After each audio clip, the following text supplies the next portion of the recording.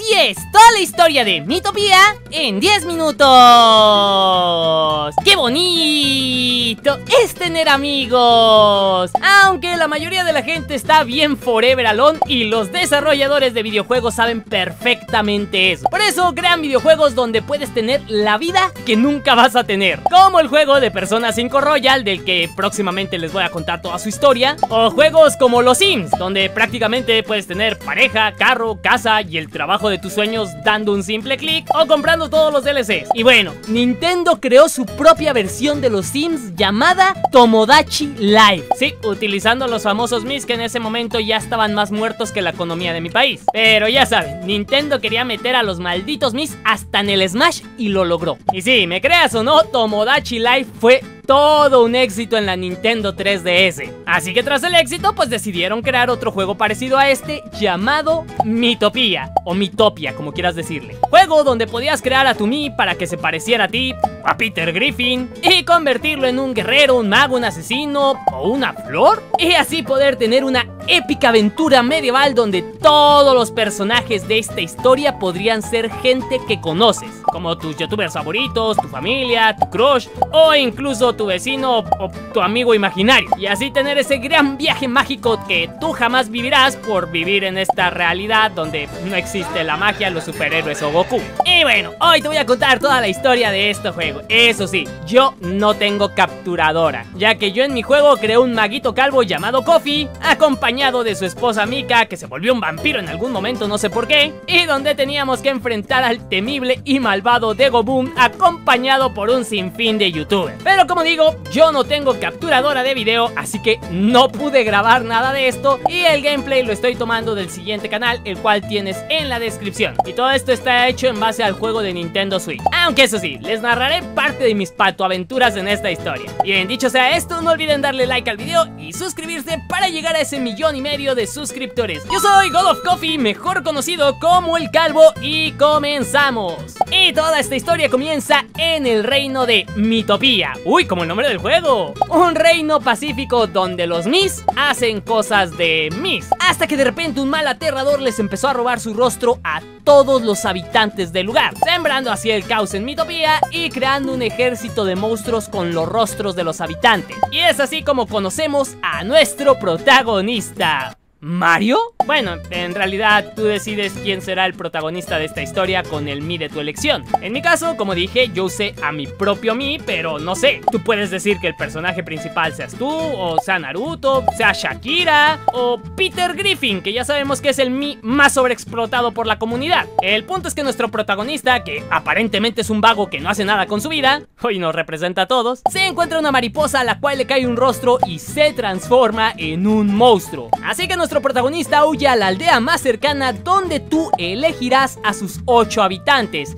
Y créeme, si no tienes mis creados, te puedes pasar aquí todas las horas del mundo solo para crear unos habitantes que serán irrelevantes media hora después. Tardarás más creando estos personajes que lo que duran en el juego. El punto es que todos estos habitantes están de lo más contentos hasta que aparece aquel ser que roba los rostros de la gente. Y sí, también tendrás que elegir quién será el enemigo principal de esta historia. historia. Yo elegí a Degoboom porque, como dije, hice esta historia en base a puros youtubers. Todos los de la aldea también eran youtubers, pero solo mencionaré a los personajes importantes de la historia. Y aparte, pues el gameplay no va a corresponder con los personajes. Bien, el malote que conoceremos como el Archimago se lleva los rostros de casi todos los habitantes. Y nuestro personaje decide ayudar a una madre que quiere de regreso el rostro de su hijo. Así que nuestro protagonista, que no sabe hacer absolutamente nada, va y se enfrenta contra el Archimago. Y este enemigo crea un monstruo con el rostro del niño y... pues como dije, nuestro protagonista no sabe hacer nada, no sabe ni empuñar una espada, es un inútil. Así que parece que nuestro protagonista morirá por pendejo, pero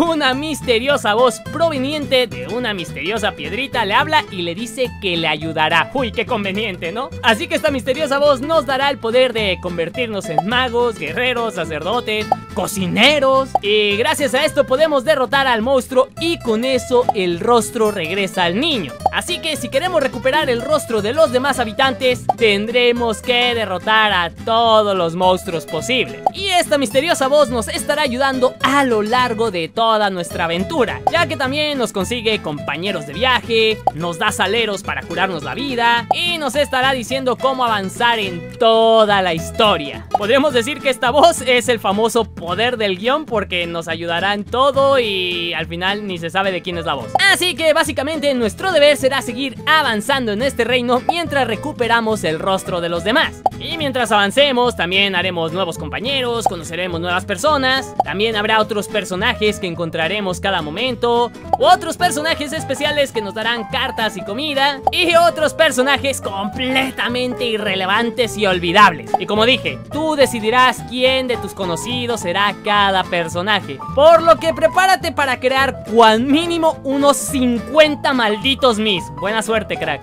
Pero continuando con nuestra historia, muchas veces te toparás con el archimago y este, en vez de matarte porque puede hacerlo, decide seguir enviándote monstruos, ya saben, ¿no? El típico malo que espera que te hagas más fuerte para que lo derrotes. Aunque eso sí, en un punto el archimago parece que realmente va a matarte, pero convenientemente para la trama aparece el gran sabio, el mi más poderoso de todo ese reino, el cual convenientemente pasaba por allí y convenientemente nos salva la vida. Y bueno, en mi caso yo decidí que el gran sabio fuera David del canal Behind the Games, pero bueno, seguimos avanzando en nuestra historia, rescatamos una princesa cual Mario Bros, seguimos nuestra aventura por todo ese reino y cuando estamos en una posada a punto de avanzar a la siguiente región, el maldito archimago secuestra a nuestros compañeros de equipo y nos quita nuestros poderes. O sea, perfectamente nos pudo haber matado en ese momento, pero bueno, aquí no hacemos eso. Así que gracias a la misteriosa voz que nos vuelve a dar poderes, tenemos que elegir una nueva profesión, pero volveremos a empezar desde nivel 1. Y no solo eso, tienes que hacer nuevos amigos, tienes que enfrentar nuevos enemigos, tienes que avanzar nuevamente, tienes que enfrentar un maldito genio mágico, tienes que seguir evitando al maldito archimago, tienes que seguir recuperando rostros y cuando terminas todo ese maldito desierto y avanzas a la siguiente región, llega el maldito archimago y te quita nuevamente a tus amigos y te vuelve a quitar también tus poderes. Sí, otra vez. Así que nuevamente la misteriosa voz te dará otra profesión y será hacer exactamente lo mismo. Empezar de nivel 1, conocer nuevos amigos, encontrar unas hadas que se ponen a bailar a lo pendejo, recuperar más rostros por todo ese nuevo reino. Y sí, cuando avanzas al siguiente reino, sí, lo adivinaste mi querido Carlitos, el archimago te roba por tercera vez a tus amigos güey, ya. Pero por fortuna esta vez no te quita ni tus poderes ni tu nivel de personaje. Al menos. Así que aparece el gran sabio y te ayudará a rescatar a todos tus compañeros que el maldito Achimago te ha quitado. Y créeme, para este entonces ya habrás creado un chingo de mis. Así pues, con ayuda del gran sabio logra rescatar a absolutamente todos tus compañeros que te han ayudado a lo largo de toda esta aventura. Y ahora que estamos todos juntos, es el momento de ir a enfrentar al maldito Archimago, el cual es bastante poderoso, pero nada que nuestro equipo no pueda derrotar, obviamente. Pero cuando acabas con el Archimago, vemos que este se trataba de un Mi común y corriente. El verdadero malo es una especie de fantasmita que estaba controlando a dicho Mi. Así que el fantasmita intenta controlar a nuestro personaje y el gran sabio se sacrifica por nosotros. Así que ahora el fantasmita logra controlar al gran sabio. Y recordemos que el gran sabio es el Mi más poderoso de todo el reino. Así que ahora el gran sabio se volverá el enemigo principal convirtiéndose en el... ¿Chachimago? No sé, no me agrada tanto el nombre, dejémoslo mejor como el Archimago Ultra Instinto. Así que ahora nuestro deber será enfrentar al gran sabio Archimago y descubrimos que el reino es aún mucho más grande de lo que habíamos visto. Tiene tres zonas adicionales, tiene un cúmulo de nubes y un gigantesco castillo con otra dimensión. O sea que si creíste que ya te ibas a acabar el juego, agárrate, porque esto es solo el comienzo. Sin más, no voy a hacer la historia más larga, porque acá todo lo que tienes que hacer de verdad es bastante repetitivo. En general es buscar gemas y seguir rescatando rostros y ya. Ah, sí, y un dragón se unirá a nuestro equipo, pero solo sirve como método de transporte, a diferencia de un caballo que encuentras que sí pelea contigo y el cual creo que olvidé mencionar en toda esta historia. Pero bueno, hay un caballo. Y tras recorrer todos los reinos, las nubes, la torre y llegar a la otra dimensión, ahí se encuentra el Chachi Pistachi Mago. Y con ayuda de todos nuestros compañeros logramos derrotarlo. Y aquí nos cuentan la historia de aquel extraño espectro, el cual